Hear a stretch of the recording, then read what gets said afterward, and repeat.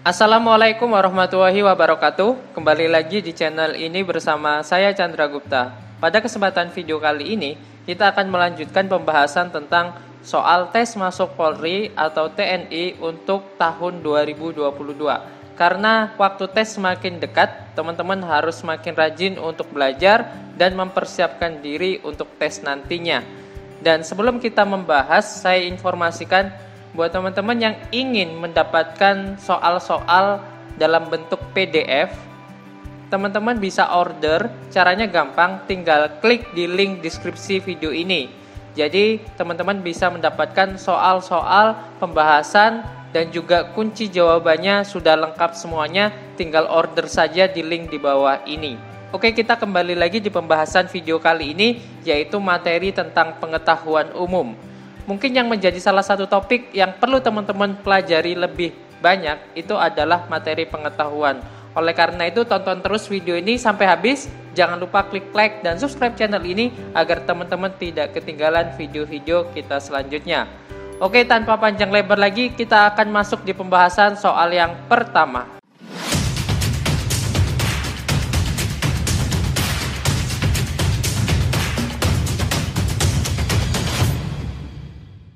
Nomor 26, jabatan berikut ini termasuk dalam eksekutif kecuali A. Presiden B. Wakil Presiden C. Menteri Pertahanan D. Menteri Koordinator Perekonomian E. Perwakilan Rakyat atau biasa kita kenal DPR.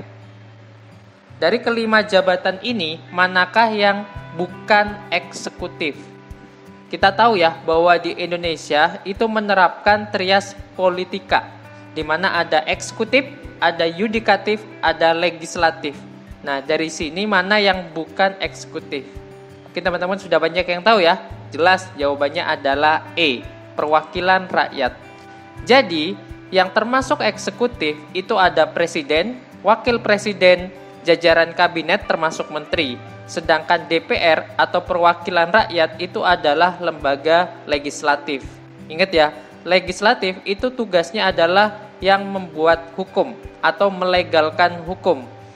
Eksekutif artinya adalah lembaga yang mengeksekusi atau menjalankan undang-undang. Sementara yudikatif itu adalah pengadilan, misalnya Mahkamah Agung, Mahkamah Konstitusi itu contoh yudikatif. Nah, ini adalah pengetahuan dasar tentang sistem demokrasi di Indonesia. Nomor 27. Pada uang pecahan Rp20.000 terbaru terdapat gambar pahlawan A. Muhammad Hatta B. IR Haji Juanda Kartawijaya C. Dr. GSSJ Ratulangi D. Franz Kasipo E. Dr. Kiai Haji Idam Khalid Teman-teman harus ingat ya bahwa ini adalah uang pecahan yang terbaru, bukan yang lama. Yang terbaru 20.000 itu gambar pahlawan siapa? Oke, jawabannya adalah C. Dr. GSSJ Ratulangi. Nah, ingat untuk uang 100.000 rupiah itu adalah pahlawan IR Soekarno dan Muhammad Hatta. Bapak proklamator itu di uang 100 ribuan IR Haji Juanda, pecahan 50 ribuan. Kita teman tahu ya bahwa ini adalah salah satu pejuang yang mungkin sudah terkenal dan namanya dijadikan bandara di Surabaya ya. Terus 20 ribuan itu Dr. GSSJ Ratulangi untuk pecahan 10 ribu untuk pecahan 10 ribu Franz Kasiepo dan 5 ribu adalah Dr. Idam Khalid. Ini untuk uang yang terbaru. Teman-teman harus ingat ya. Lanjut nomor 28. Pemenang turnamen Piala Presiden pada tahun 2017 adalah A. Persib Bandung B. Arema Indonesia C. PBFC Bontang D. Persema E. PSS Sleman Nah ini pengetahuan umum yang suka bola terutama bola terutama sepak bola Indonesia siapa yang memenangkan Piala Presiden 2017 ada yang ingat Ya, jawabannya adalah B. Arema Indonesia. Pemenang turnamen Piala Presiden tahun 2017 adalah Arema Indonesia. Nomor 29. Berikut ini yang bukan minyak atsiri adalah A. Minyak tanah B. Minyak sereh C. Minyak cengkeh D. Minyak jahe E. Minyak rumput teki E. Minyak rumput teki Dari kelima ini yang bukan minyak atsiri Gampang ya, jawabannya adalah A. Minyak tanah Kenapa? Karena minyak tanah ini adalah bahan bakar yang berasal dari minyak bumi. Sementara minyak atsiri itu merupakan minyak yang diisolasi dari tumbuh-tumbuhan. Jadi berasal dari tumbuhan. Misalnya serai, ini jelas dari daun serai. Minyak cengkeh, ini jelas dari pohon cengkeh. Minyak jahe dari tumbuhan jahe. Minyak rumput teki jelas dari dari rumput-rumput teki. Sementara minyak tanah itu berasal dari minyak bumi. Minyak bumi dari mana? Dari dalam tanah. Lanjut nomor 30. Kongres Pemuda pada tanggal 27 sampai 28 Oktober 1928 dipimpin oleh A. Sugondo Jojo Puspito B. Soekarno C. W.R. Supratman D. Amir Sarifuddin E. Muhammad Yamin Siapa yang memimpin Kongres Pemuda? Kongres Pemuda itu ada dua kali ya, Kongres Pemuda 1 dan Kongres Pemuda 2. Nah, kalau yang tanggal 27-28 ini dipimpin oleh siapa? Jawabannya adalah A. Sugondo Jojo Puspito. Ini adalah pemuda yang memimpin Kongres tanggal 27-28 Oktober. Nomor 31. Pada tahun 1884, sebuah kota ditentukan sebagai pusat nol derajat dan sebagai awal perhitungan waktu. Kota tersebut adalah A. New York, B. London, B. Greenwich D. Bangkok E. Jakarta Kota mana yang dijadikan sebagai pusat nol derajat? Teman-teman pasti banyak yang sudah tahu ya. Jelas jawabannya adalah C. Greenwich. Jadi kota Greenwich itu dijadikan sebagai pusat nol derajat. Nomor 32. Hewan endemik daerah Sulawesi yang dilindungi menurut Undang-Undang Nomor 7 Tahun 1999 adalah A. Anoa, B. Babi rusa, C. Trenggiling, D. Komodo, E. Kakak tua raja. Yang dilindungi menurut Undang-Undang Nomor 7 berasal dari Sulawesi. Jawabannya adalah ya B. Babi rusa. Ya, bukan anoa ya. Anoa ini termasuk hewan yang akan punah Cuma yang dilindungi saat ini menurut undang-undang berasal dari Sulawesi itu adalah babi rusa.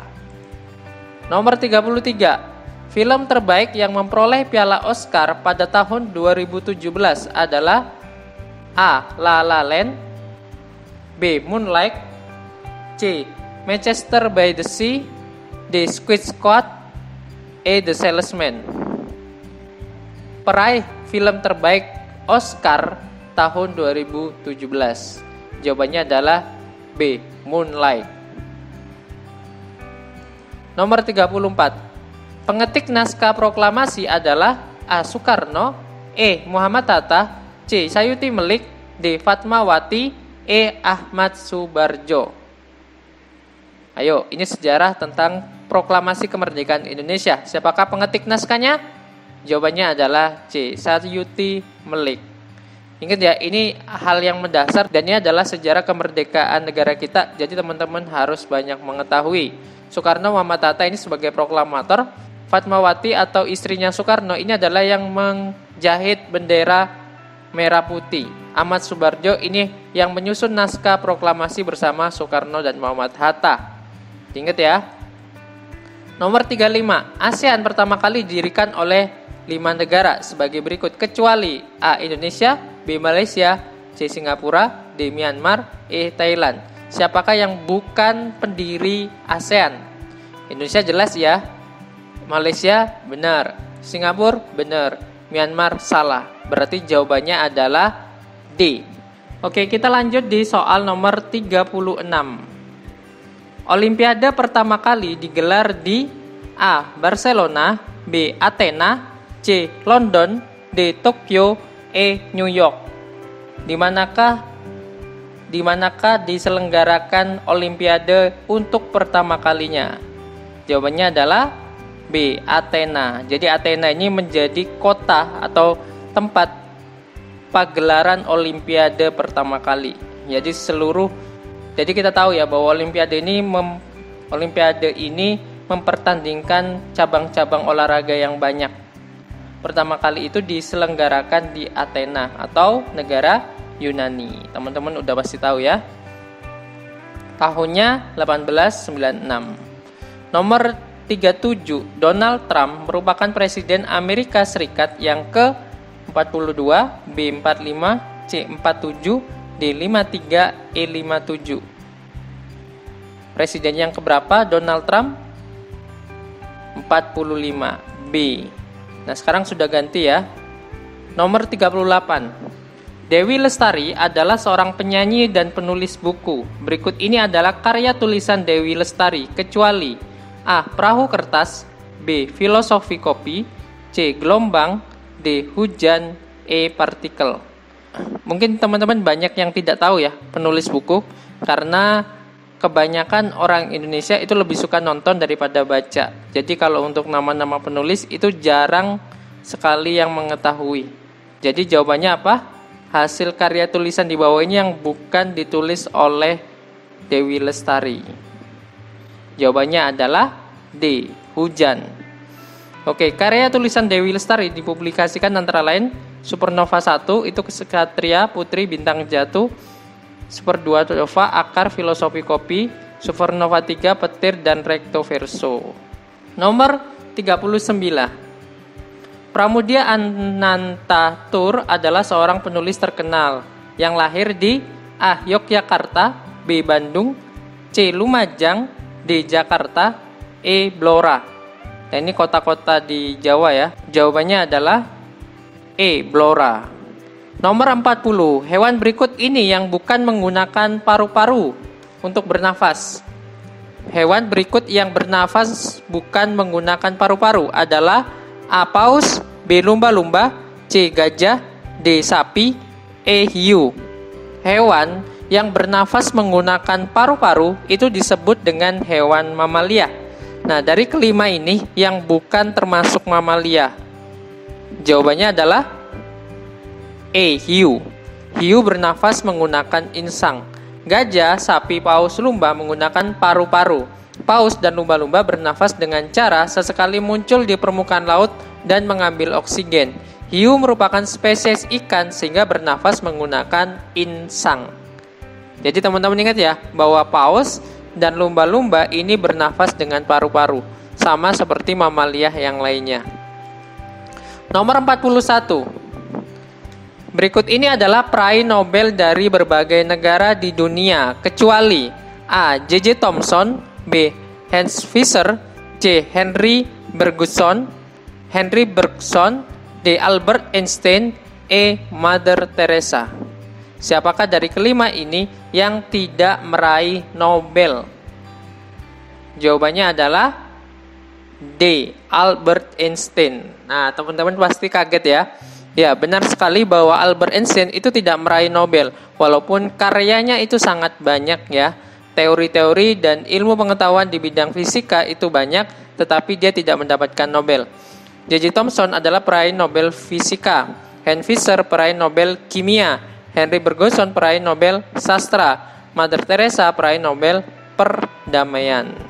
Sementara sementara Albert Einstein tidak meraih Nobel. Nomor 42, juara dunia MotoGP pada tahun 2010. Ayo ingat siapakah juara dunia MotoGP tahun 2020? A. Valentino Rossi, B. Jorge Lorenzo, C. Mark Marquez, D. Casey Stoner, E. Maverick Vinales.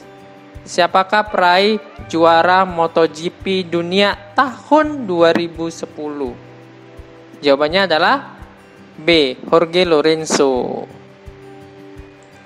Nomor 43. Nah, ini yang suka sepak bola nih.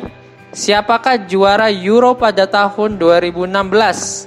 A. Spanyol, B. Jerman, C. Portugal, D. Italia, E. Yunani. Siapakah peraih Euro tahun 2016? Jawabannya adalah C. Portugal ya ketika final melawan Prancis. Tahun ini Italia ya, tahun ini kemarin tahun kemarin itu Italia. Nomor 44, pemain yang menjuarai All England, ini bulu tangkis ya, pada tahun 2017 adalah A. Ayaka Takahashi, B. Zhang Nan, C. Lindan, D. Tontowi Ahmad, E. Marcus Feraldi Gideon. Siapakah peraih juara All England atau bulu tangkis? Jawabannya adalah E. Marcus Feraldi Gideon. Ganda campuran pada waktu itu dijuarai oleh Lukai dan Huang Yang Kyong. Tunggal putra Lee Chong Wei, ganda putri Chayena dan Lee So Hee. Ganda putra adalah Marcus Feraldi Gideon dengan Kevin Sanjaya Sukamuljo. Sementara tunggal putri Tai Su Ying. Nah ini adalah peraih juara All pada tahun 2017. Nomor 45, suku berikut ini yang merupakan suku berada di Pulau Sulawesi. Ayo, yang bukan merupakan suku yang berasal dari Sulawesi. A. Luwu, B. Bugis, C. Makassar, D. Toraja, E. Mandar. Jawabannya adalah A. Luwu. Suku yang merupakan berasal dari Sulawesi itu ada Bugis, Makassar, Toraja, dan Mandar. Sementara Luwu ini bukan berasal dari Sulawesi. Oke, itu tadi adalah 20 soal tentang pembahasan soal pengetahuan umum untuk tes masuk polisi ataupun TNI tahun 2022. Semoga di bulan Ramadan ini teman-teman semakin semangat dalam beribadah, semangat dalam belajar, dan semangat dalam berdoa. Dan semoga doa teman-teman dikabulkan oleh Allah Subhanahu wa taala. Amin. Ingat jangan lupa klik like dan subscribe channel ini agar teman-teman tidak ketinggalan video selanjutnya. Dan saya selalu sampaikan terima kasih telah menonton video ini, support terus channel ini. Sampai jumpa di video-video selanjutnya. Assalamualaikum warahmatullahi wabarakatuh.